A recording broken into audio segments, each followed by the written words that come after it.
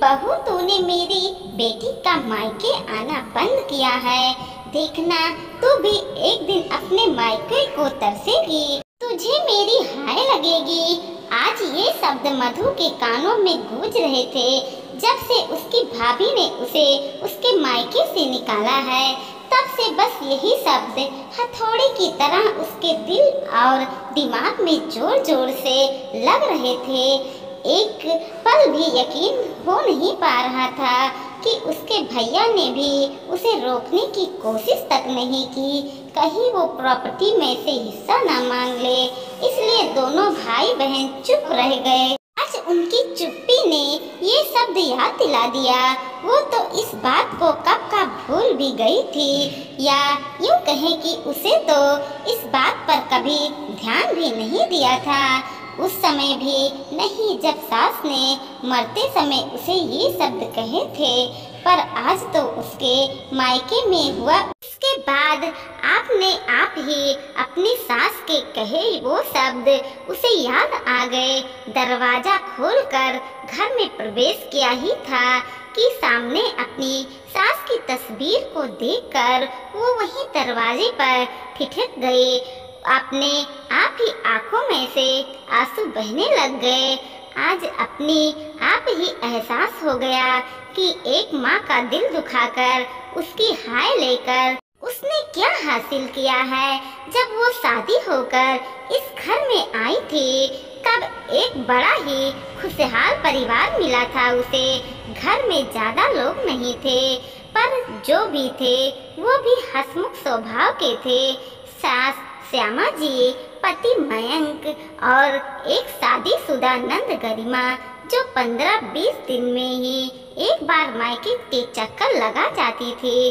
पर मधु तो उन दो लोगों के परिवार में भी खुद को एडजस्ट नहीं कर पाई। वो तो ससुराल में अपना एक छत्र राज चाहती थी, जो सास के रहते तो संभव नहीं था।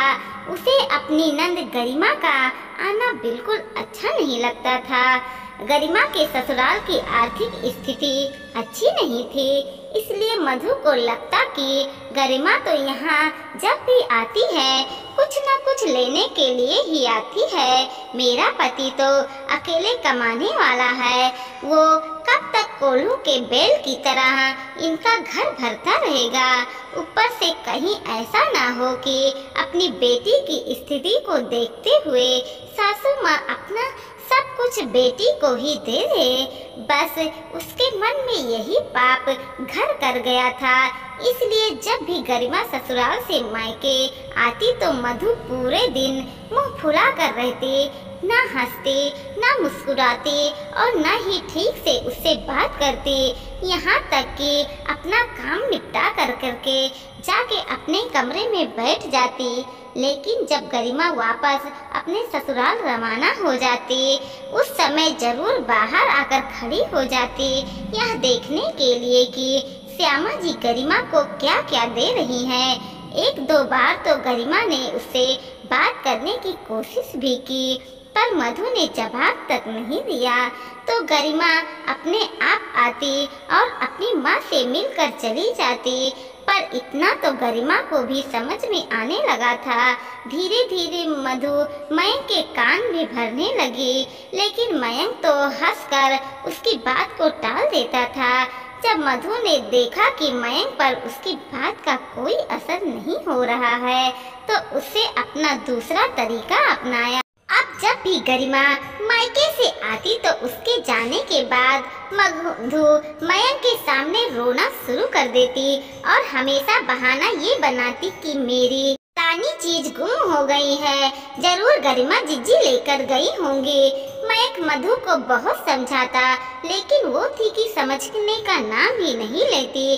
कहती है ना, जब बार बार एक ही बात कह जाओ तो कुछ तो असर होता ही है। यही हाल अब मयंक का होने लगा था। वो धीरे धीरे मधु की बातों में आने लगा था। उसे भी लगने लगा था कि गरिमा के आने के बाद ही क्यों सामान गायब होता है। क्या सचमुच गरिमा सामान उठाकर तो नहीं ले जाती? सबका कीड़ा धीरे धीरे कुल बुलाने लग गया था। लेकिन ये कीड़ा उस दिन बड़ा भी हो गया। जिस दिन गरिमा श्यामा जी से मिलने आई थी उस दिन मयंक और मधु दोनों ही घर पर नहीं थे। गरिमा आई और श्यामा जी से मिलकर चली गई। जब श्याम को वो दोनों लौटे, तब श्यामा जी थोड़ी उदास थी। तब गरिमा ने पूछा, क्या बात है माँ? क्यों परेशान हो रही हो? तब श्यामा जी बोली, आज गरिमा आई थी। परेशान लग रही थी। श्यामा जी की बात सुन के मयंक बोला, क्यों? आपको ऐसा क्या लगा? आपने पूछा नहीं। उसकी बात सुन करके श्यामा जी ने लंबी सांस भरते हुए कहा, कह रही थी दामाद जी कोई छोटा मोटा बिज़नेस शुरू कर रहे हैं। उसी में थोड़ी परेशान हो रही हैं। पर क्या परेशानी है? वो नहीं बताया। कहीं ऐसा ना हो। उसे पैसे की ज़रूरत हो और मेरे सामने बोल ही नहीं पाए। हो, मयंक और श्यामा जी अभी बात ही कर रहे थे कि मधु अपने कमरे में चली गई। कुछ देर बाद मयंक कमरे में आया तो देखा मधु ने में पूरा कमरा बिखेर रखा था और पलंग पर उदास होकर बैठी हुई थी। ये देखकर मयंक ने कहा, क्या हुआ मधु? ये कमरा क्यों फैला दिया है? और ऐसे उदास होकर क्यों बैठी हो? उसकी बात सुनकर के मधु अपने आँखों में आँसू आते हुए बोली, मेरे सोने का मंगल सूत्र नहीं मिल रहा है। मैंने यही ड्रेसिंग पर रखा हुआ था। चोरी हो गई है। ज़रूर मंगल सूत्र चोरी हो गई है। ये क्या कह रही हो? भला मंगल सूत्र घर में से बाहर कैसे जाएगा? मयंक ने कहा तो मधु खड़े होते हुए बोले, क्यों आपको नहीं पता कि दस सूत्र घर के बाहर कैसे जाएगा? आज भी तो आपकी प्यारी गरिमा जीजी यहाँ पर आई हुई थी। थोड़ा तो दिमाग लगाओ कि वो हमारे जाने के बाद ही क्यों आई ज़रूर वही मेरा मंगल सूत्र यहाँ से चुरा कर लेके गई है। बस करो तुम, जरा ढंग से देखो, यही कहीं होगा। और तुम इतनी लापरवाह कैसे हो सकती हो कि सोने का मंगल सूत्र को यूँ ड्रेसिंग पर रख कर चली गई भला सोने चांदी की चीज़ कोई इस तरह से घर में खुला रखता है क्या? मयंक ने मधु को डांटा तो मधु उल्टा मयंक को सुनाते हुए बोली, अपनी बहन के अपराध को मेरे सिर पर मत डालो। उसे अपराध तो मेरी लापरवाही का नाम मत देना। आज के बाद खबरदार, जो इस घर में आई तो मैं ये घर छोड़कर हमेशा के लिए चली जाऊँगी। अभी मधु और मैं लड़ ही रहे थे कि श्यामा जी दरवाजे पर आ गए। इन्होंने कुछ सुन लिया। वो मधु को समझाते हुए बोली, पर गरिमा तो इस कमरे में आई ही नहीं थी। वो तो मेरे कमरे में आई थी और मेरे कमरे से ही चली गई थी। भला वो क्यों चोरी करेगी? अगर उसे पैसे की ज़रूरत थी तो वो मुझसे मांग लेती। मुझे नहीं पता। अरे, आपने पति के व्यापार को शुरू करने के लिए पैसे की ज़रूरत होगी। इसलिए वो मेरा मंगल सूत्र चुरा कर ले गई, ताकि उसे बेचकर अपने पति का व्यापार शुरू कर सके। मधु, अब श्यामा जी से भी ऊँची आवाज़ में बात कर रही थी। उसकी ये बात सुनकर के श्यामा जी बोले, चुप कर बहू कुछ भी बोले जा रही है। मैं जानती हूँ मेरी बेटी ऐसी नहीं है। कहकर श्यामा जी अपने कमरे में चली गई। उस दिन घर का माहौल खराब ही रहा। घर के ऐसे माहौल और गरिमा पर लगे इल्ज़ाम के कारण श्यामा जी की तबीयत अब थोड़ी खराब होने लगी थी।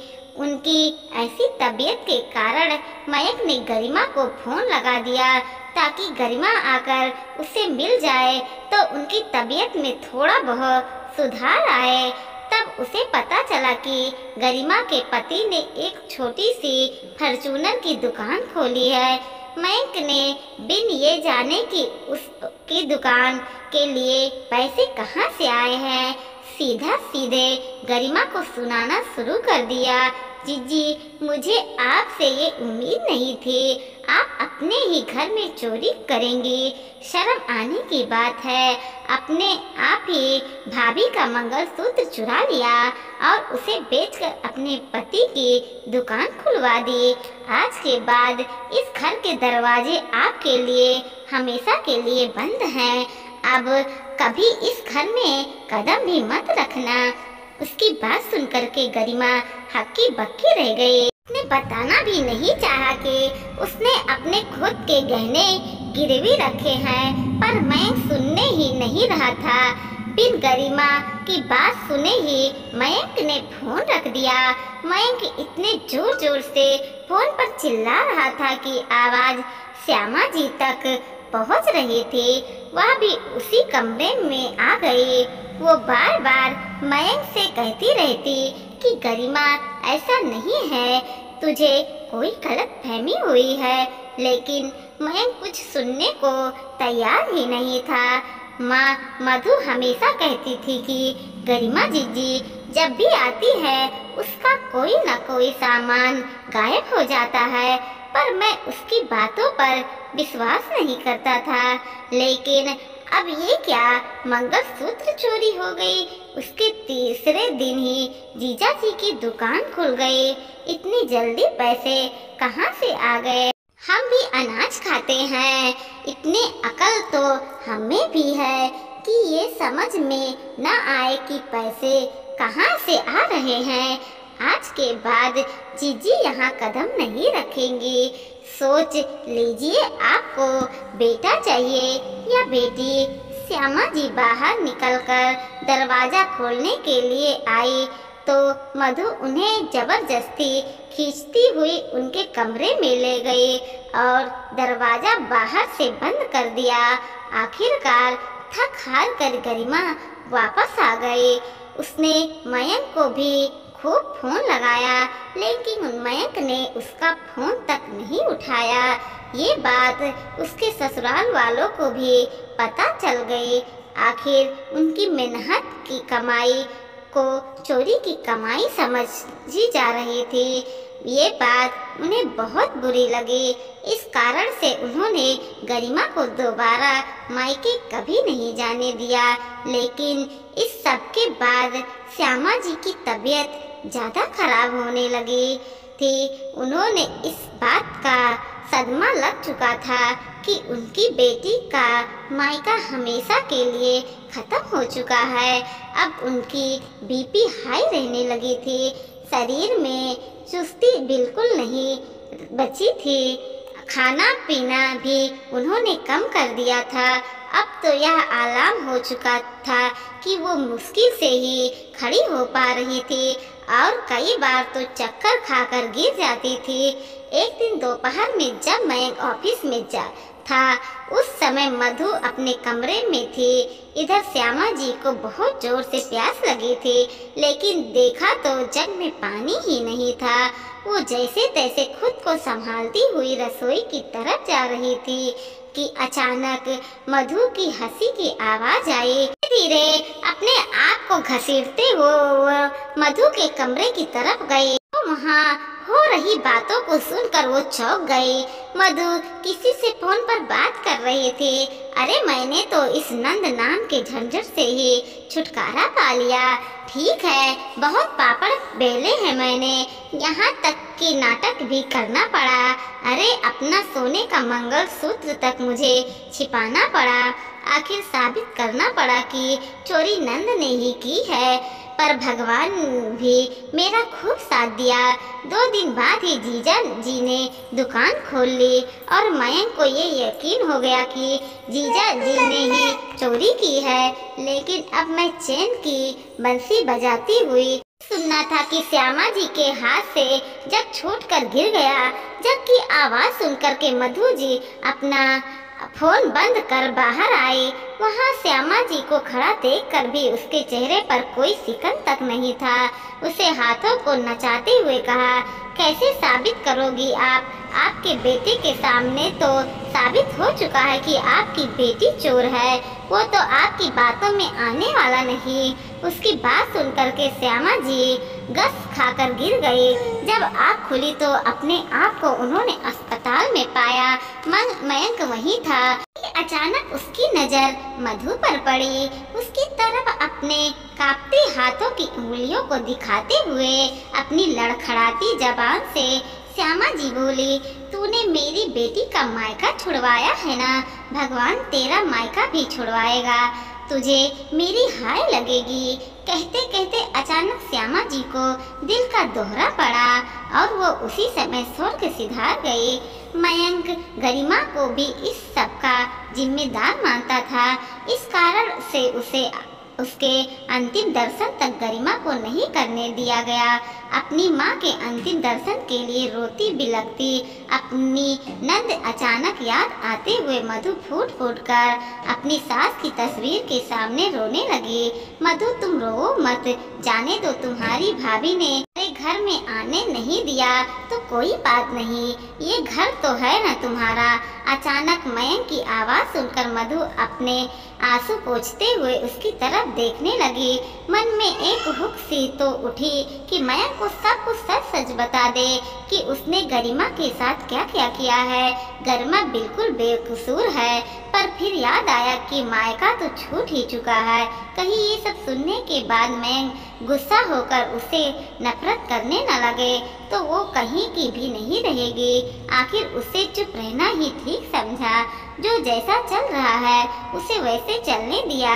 पिछली बार लालच के पीछे सच को छुपाया गया था। के पीछे सच को छिपा दिया गया। कभी कभी सच भी दम तोड़ जाता है। और यहाँ ये सब मधु के दिल में हमेशा के लिए दफन हो गया। और आखिर में, कुछ साल बाद जब मधु की कैंसर से मौत हो गई तो उसे सच में मधु की मौत के साथ ही दम तोड़ दिया।